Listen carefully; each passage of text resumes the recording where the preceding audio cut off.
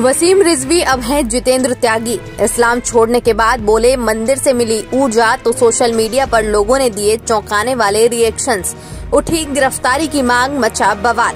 Uttar Pradesh Shia Waqf board के पूर्व chairman Wasim Rizvi ने सोमवार को इस्लाम धर्म छोड़कर सनातन धर्म अपना लिया। उन्हें अब जितेंद्र नारायण सिंह त्यागी के नाम से जाना जाएगा। वसीम रिजवी ने सोमवार सुबह गाजियाबाद के डासना देवी मंदिर में सनातन धर्म अपनाया। इस बीच सोशल मीडिया पर भी लोगों में काफ़ी तनाव देखने को मिल रहा है।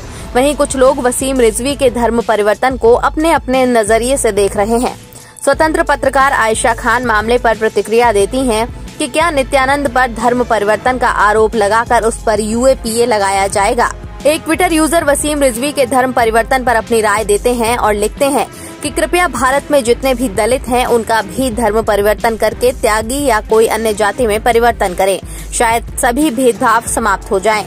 एक अन्य ट्विटर यूज़र लिखते हैं कि क्या कोई त्यागी अपनी बेटी का विवाह वसीम रिजवी के घर से करेगा?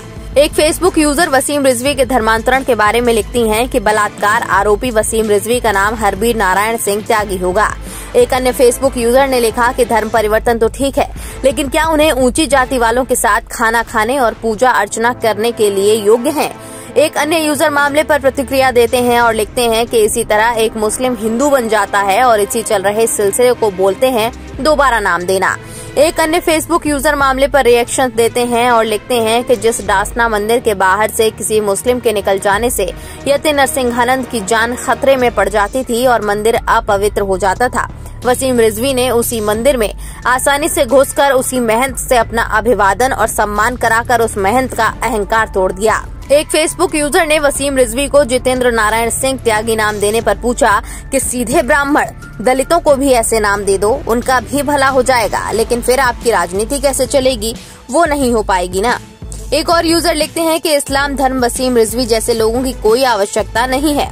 आपकी क्या राय है इस खबर को देखने के बाद हमें कमेंट बॉक्स में ज़रूर बताएँ। हमारे चैनल को सब्सक्राइब करें और बेल आइकन ज़रूर दबाएँ, जिससे हर खबर की अपडेट आप तक पहुँचे।